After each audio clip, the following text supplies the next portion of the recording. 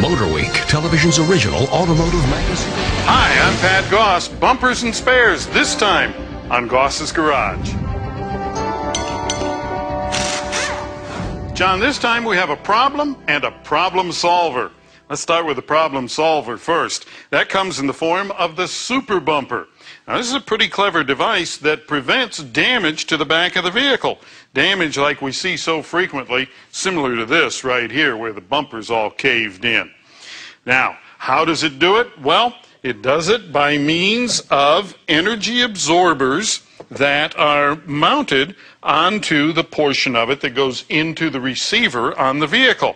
You hit this, these energy absorbers absorb the energy and prevent damage to the back of the vehicle.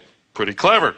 Now, it also comes with a place to put the tow ball, and it has uh, material on it to make it a great step to get up into the vehicle.